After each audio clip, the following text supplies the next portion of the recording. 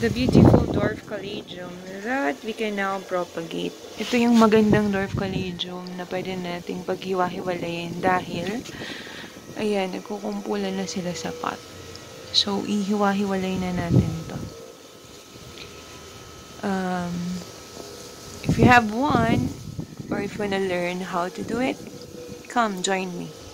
Welcome to Family Garden Adventures. Um, I'm Mami G, and today I will be repotting um, dwarf caladium naman this time. Um, let me show you. So this is the dwarf caladium. Ayan. As you can see, maganda siya. And also, it's called dwarf caladium kasi maliit yung leaves niya. Maliit lang yung leaves niya, yung leaf niya. Compared sa usual na caladium variant. And, ayan. Sobrang madami na siya and nagkukumpulan na siya sa pot. So, nagkukumpulan na siya sa pot. Ayan. So, talagang kailangan na siya. So, samahan niyo ako mag-repot. But first, let me show you the materials that we need for repotting. Yan. So, simple lang. We have small pots here because you have a small plant to repot. And then, meron lang akong itong tool na to para mas madaling mag-create ng hole and also to manage the soil. And, of course, we need the plant, the mother plant. So, that's what we'll need. And I'll show you how we'll repot it. So, syempre, yung una natin gagawin is we'll remove the plant from the original pot. Ito yung ating plant. Tatanggalin lang natin sa pot. Then, we will inspect how many plants we can already repot. I think madami na to. So, let me just remove. You just push, push the plant out and then I'll show you.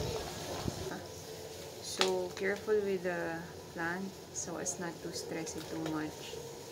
And I'm just gonna remove the soil slowly.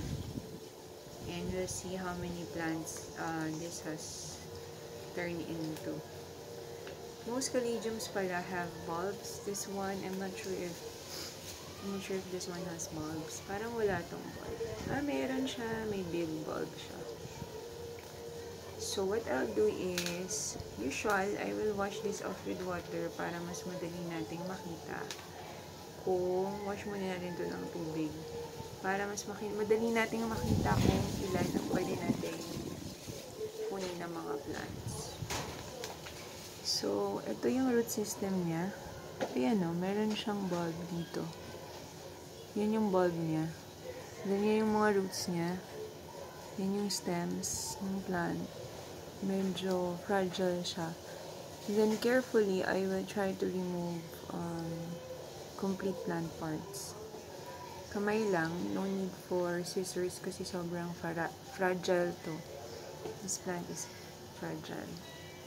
Usually, meron siyang mga, ayun, mga bilog-bilog na part there. Kukumpulan din naman yung isang plant. So, we can use that as a guide to divide the plants. Ano lang yung intertwine yung mga leaf niya. So, kailangan maging maingat. Intertwined leaves.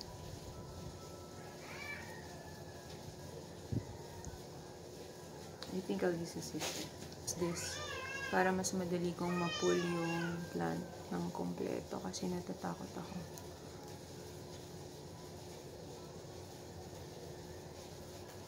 Ayun. So, this is one. Yan, nakat off ko lang siya.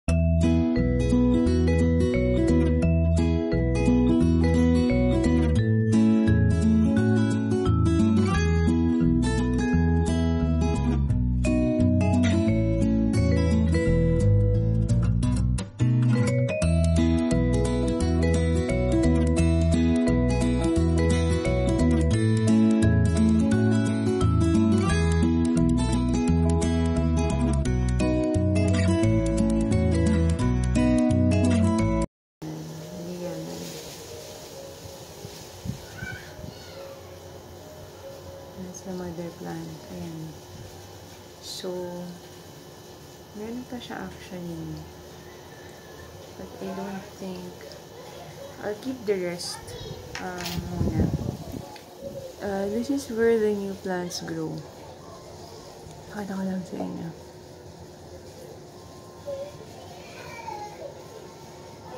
So, actually, yan, dyan sa gilid tumutubo yung bagong plant. Magiging bagong plant yan, that one. That will be a new plant. This little thing here is also gonna be a new plant. Ayan. It's gonna be a new plant. So, it's too little to be divided from the parent. So, I'll keep it there first. As you can see, meron siyang bulb. Ayan yung bulb niya. Lumaki na yung bulb niya. Ayan yung bulb niya. Malaki yung bulb niya. Ayan, may bulb siya. Yun yung root system. So, since ito, yellow na, tatanggalin ko na siya. Ayan. So, replant this back in its pot. ginagamit natin na soil, um, garden soil na. I have a mini shovel. So, ibabalik ko lang ito pot So, ito na yung divided na plants natin. Oh, if you count them, how many? How many are they? They're actually 1, 2, 3, 4, 5, 6, 7, 8 plants. So you have 8 plants. Two really big plants. This is the mother plant. It's a mother plant. So we have 8 plants now. Uh, I will repot this and I'll show you the repotted plants. For the soil, I'm just using um, This is just garden soil mixed with some rice hull. So, that's pretty simple. So, i-repot na natin siya. So, basically, I have a pot. Maybe I'll just use this one. Kasi maliit na yun. Then, I'm just making a hole in the middle. And I'll put the mother plant first. Yan o. Ganda yung root system niya.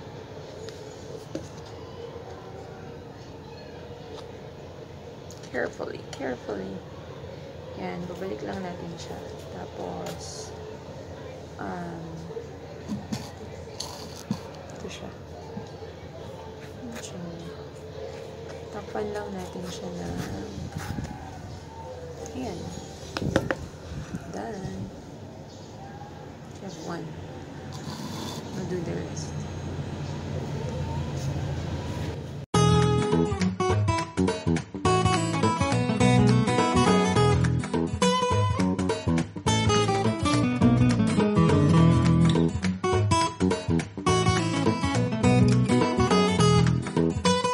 So, ito na yung ating repotted um, dwarf caladium. So, from one plant, we now have eight plants. Ayan.